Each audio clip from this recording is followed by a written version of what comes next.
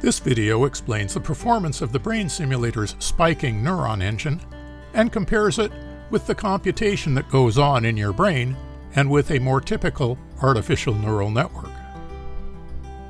To stress the system, I created a network with 10 million neurons and 500 random synapses per neuron, making a total of 5 billion synapses.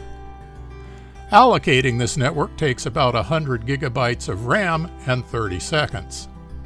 In this example, the simulator can fire every neuron and process every synapse in less than 2 seconds for a rate of 2.5 billion synapses per second. I hope you'll try this out and report results from your computer. Instructions are at the end of this video.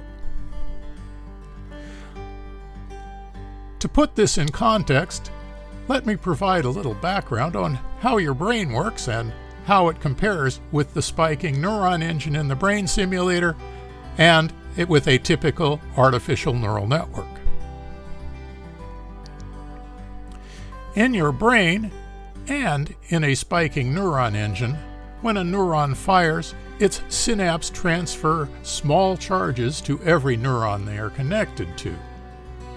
We call this amount of transferred charge the weight of the synapse and it could be positive or negative.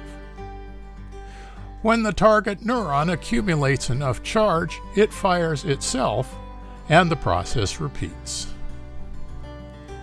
Very simplified, the spiking algorithm looks like this. In a nutshell, if the current charge of a neuron exceeds a threshold, then it processes each synapse by adding its weight to each of the neurons it is connected to. We don't have to multiply by the neuron's value because the value of a spike is defined as 1. Finally, the neuron's charge is set to zero so the process can repeat. The key to a spiking simulation is that significant computation, shown in orange, is only required when a neuron fires unlike a typical neural network, which calculates every neuron in every cycle, whether the neuron fires or not. Comparing with the human brain, the thinking part, or neocortex, contains 16 billion neurons, but on average they don't fire very often. Energy analysis shows that only 2.5 billion neurons fire each second. If we consider the basic time interval for a neural network to be 1 millisecond, the spiking simulator can be 6,000 times more efficient than the neural network because it only processes neurons which fire. Let's compare your brain, a spiking neuron engine, and an artificial neural network in a number of other areas. In your brain and in the spiking neuron simulator, synapses can potentially connect any pair of neurons and are not arranged in fully interconnected layers. In a typical neural network, layers are fully interconnected and synapses only connect from one layer to the next. This means that in your brain and in the neuron engine, neurons can have radically different numbers of synapses, whereas in a neural network, all the neurons in a layer have a fixed number of synapses.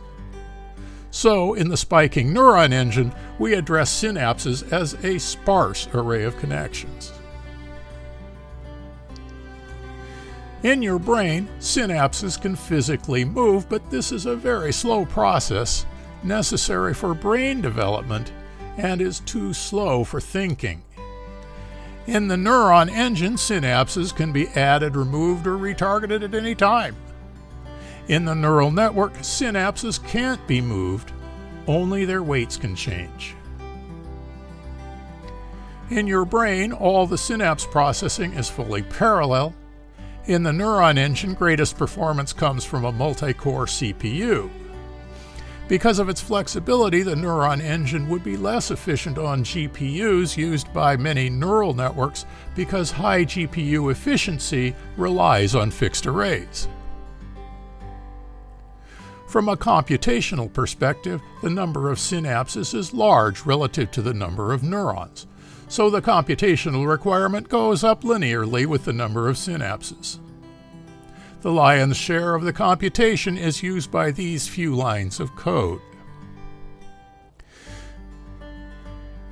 The neuron engine's current computational speed is limited by RAM contention, which you can see from this performance profiler display. That is, with many CPU cores all trying to add to neuron values, the cores have to wait in line for access to RAM where the target neuron values are stored. You can see in the performance profiler that these two lines of code account for 89% of the computation time. It's not because the instructions are complex, it's because these are the instructions where the CPU has to wait for the RAM bottleneck. This means that adding CPU cores above 16 provides only a modest performance improvement, and above 32 is irrelevant for this implementation. It also means that the calculation of the neuron and synapse values can be significantly more sophisticated without impacting the performance of the neuron engine. For example, a few lines higher, the vector lock, which allows synapses to be modified while the engine is processing, has only a 0.03% impact on performance. Instead of waiting for RAM, the CPU could use these cycles to calculate exponential leakage or other more complex neuron functionality. Interestingly, the distance to a synapse target does impact performance. The closer the target neurons are, the more likely they are to be in the CPU cache. This eliminates RAM cycles, so performance improves. Let me know what performance you get on your computer. Download the source code from httbrainsim.org and try it out.